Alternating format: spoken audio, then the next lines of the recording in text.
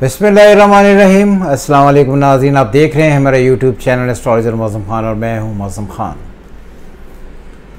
मैं इन पाँच किताबों का मुसनफ़ हूँ। एस्ट्रोलॉजी का आपको पता है कि मैंने डिप्लोमा जो है वो ज्योतिष विद्या का नेपाल से किया था। वैसे मैं इंडिया में पढ़ता रहा हूँ, श्रीलंका से मैंने पढ़ा है। तो इस ख़ास वीडियो में हम आपको ये मैसेज देना चाहते हैं कि मैंने एक कोर्स डिज़ाइन किया है which is called professional course of astrology जो हम आप लोगों को ऑफ़र कर रहे हैं, ये कोर्स होगा पाँच से छः महीने पर महीत। हर रोज़ इसकी दो घंटे की क्लास होगी। Monday Tuesday Wednesday Thursday Friday Saturday Sunday ये छुट्टियाँ होंगी।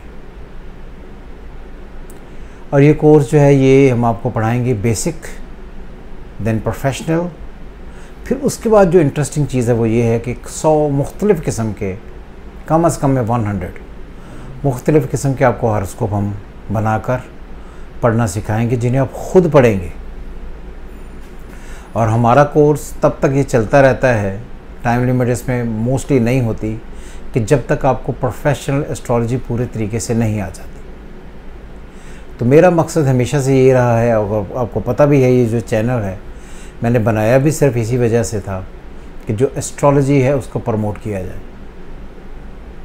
तो एस्ट्रोलॉजी की प्रमोशन के लिए हम आपको ऑफ़र कर रहे हैं कोर्स जो लोग उसमें हिस्सा लेना चाहते हैं या उसका पार्ट बनना चाहते हैं या एस्ट्रोलॉजी ज्योतिष सीखना चाहते हैं which is true genuine professional astrology ये जो आम एस्ट्रोलॉजर की लोग आप वीडियोस देखते हैं, ऐसी एस्ट्रोलॉजी नहीं, जो प्रोफेशनली अप्लाई हो सके which is called the practical astrology वो वाली एस्ट्रोलॉजी हम आपको सिखाएँगे।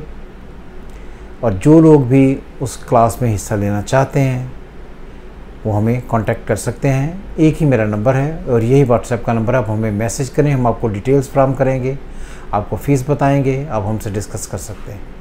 और ये बात याद रहे ये जो सारी कन्वर्सेशन होगी, ये स्काइप पे, या जूम पर होगी।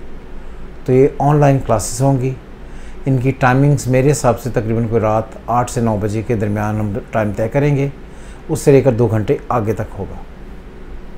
तो जो लोग भी हमें प्रोफेशनली एस्ट्रोलॉजी सीखना चाहते हैं, सिर्फ़ वही लोग हमें जो है वो कांटेक्ट करें, ताकि हमारा भी टाइम ज़ाया ना हो, उनका भी टाइम ज़ाया ना हो। सो खुश रहें।